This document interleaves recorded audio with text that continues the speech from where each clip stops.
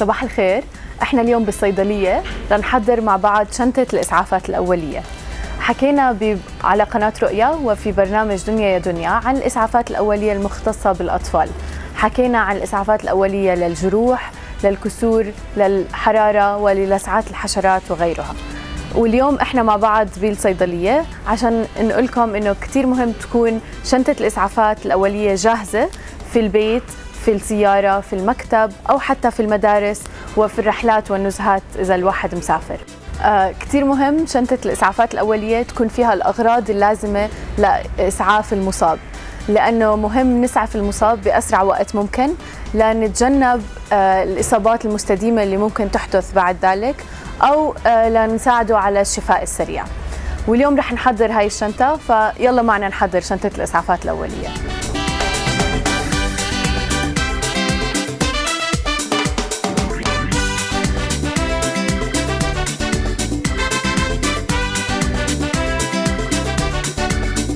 شنطة الإسعافات الأولية ممكن نلاقيها بالصيدلية في منها أحجام وأشكال. يفضل إنها تنحفظ بمحل بارد وجاف وبعيد عن متناول الأطفال. أول إشي يجب توافره بهاي الشنطة هو الكفوف لأنه بدنا المسعف يكون ما ما ينقل عدوى من المصاب. فكفوف. تكون موجودة بهاي الصيدلية أو الشنطة. آه، تاني إشي في عنا ضمادات الجروح والقطن. ضمادات عنا أحجام مختلفة أو وبيجي معها مثلا رزي أو مشبك لنمسك الضمادات. تستعمل هاي الضمادات بحالات الجروح والكسور وحتى الحروق في بعض الأحيان. كمان مقص عشان نقص الضمادات وبلاستر للصغار عشان عند الجروح نسكر الجروح فنقيها من الأوساخ اللي ممكن تيجي من الهواء. كمان في عنا المحاليل الطبية المطهرة زي الكحول الطبي أو اليود. هلأ الكحول الطبي حكينا بالحلقات السابقة إنه ما نستعمله بالجروح الخفيفة بيفضل إنه نستعمل مي لغسل الجرح مي أو مي وصابون. فكمان يفضل يكون في مي بشنطة الإسعافات الأولية. الكحول بنستعمله بأرصات آه الحيوانات مثل الكلاب البسس أو أرصات الحيايا والعقارب. بنستعمل يود لكمان ننظف الجرح إذا كان كبير. اليود بيساعد إنه ما يجي هواء على الجرح ويصير يوجع بزيادة فبيعمل زي طبقة تحمي الجرح من أي أوساخ والهواء من برا. آه كمان حكينا عن الإسعافات الأولية للسعات الحشرات. فكتير مهم يكون عندنا calamine lotion أو حكينا كيف نحضره بالبيت. إذا في عندنا بايكربونات الصودا أو baking soda اللي بنستعملها بالأكل بال بالكيك نخلطها مع شوية مي بتصير تعمل نفس هذا المحلول. بس موجود هذا المحلول بالصيدليات لنسهل وجوده بالشنطة. كمان لازم يكون عندنا موجود ميزان حرارة لأنه بنعرف الأطفال بيصير عندهم كتير حرارة عالية. فيجب توافر ميزان الحرارة لحتى نقيس الحرارة ونعرف إذا حرارته عالية نبدأ بالدواء أو لا. كمان في عنا إشي لقيته بالصيدلية إنه لازم يكون في عنا تلج. حكينا كتير عن الصدمات للأطفال. الصدمات بدنا لها تلج لتخفف التورم وتخفف من حدة الوجع.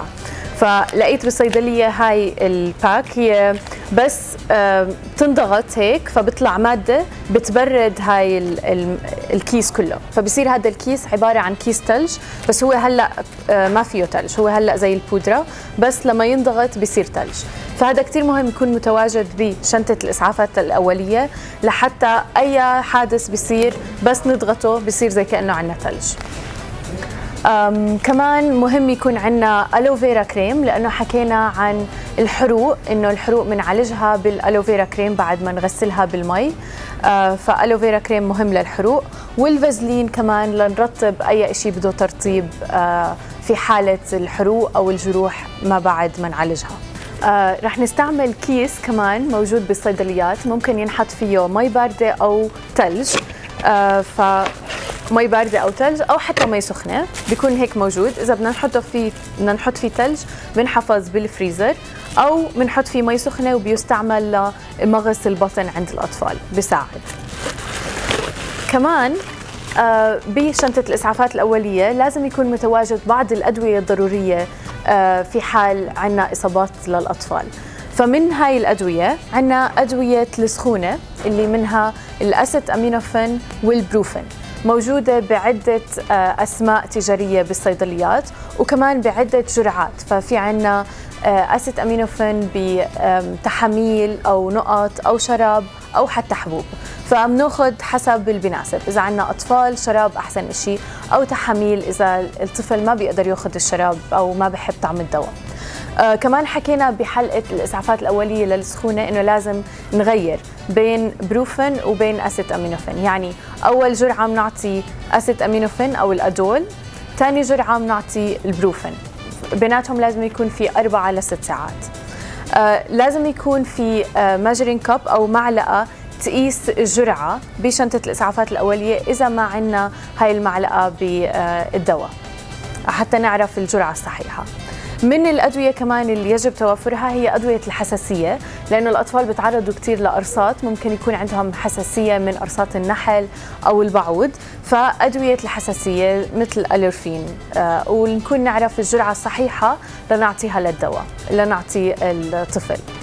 آه كمان عندنا للجروح. الأطفال اللي بيصير عندهم جروح آه رح نستعمل كريم فيه انتيبايوتيك أو مضاد حيوي. example آه عليه فيوسيدين إنه الطفل لما ينجرح بعد ما نغسل الجرح بنحط الكريم اللي فيه antibiotic أو في عندنا antibiotic على شكل powder بالصيدليات. example uh, عليه بانيوسين بيكون powder بنرش على الجرح فهيك بنقي من الالتهابات اللي ممكن تصير بعد الجروح. آه كمان عندنا كريم هو antihistamine أو مضاد للحساسية. يستعمل كثير في لسعات الحشرات أو النحل. ممكن نحطه بعد إذا لقينا إنه الطفل عم بتحسس من اللسعة أو عم بحك كثير محل القرص فبنستعمل كريم فيه انتي هيستامين أو مضاد للهستامين يستعمل للحساسية. كمان الأطفال اللي بيعانوا من ربو أو أزمات معينة لازم يكون في عندهم أدوية بشنطة الإسعافات الأولية جاهزة دايما. فبنحط لهم مثل هاي هي زي بتساعد عشان البخاخ يدخل للطفل إذا احتاج للبخاخ في حالة الربو أو الحساسيات. أما الأشخاص اللي بيعانوا من أمراض مزمنة زي السكري الضغط كوليسترول آه، لازم يكونوا أدويتهم متواجدة بهاي الحقيبة بال dose الصحيحة اللي عم بخدوها وبكميات كافية. وكمان الأطفال اللي بيعانوا من حساسية ولازم ياخذوا إبرة لحتى هاي الحساسية تروح عادة الحساسيه بتكون من الأكل.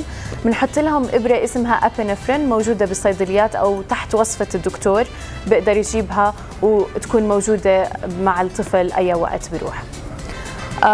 هذا كل شيء لحقيبه الإسعافات الأولية. نحكي للأهل إنه لما يستعملوا أي دواء من الأدوية اللي حكينا لازم يكون تحت استشارة الطبيب. وبنتمنى السلامة للكل.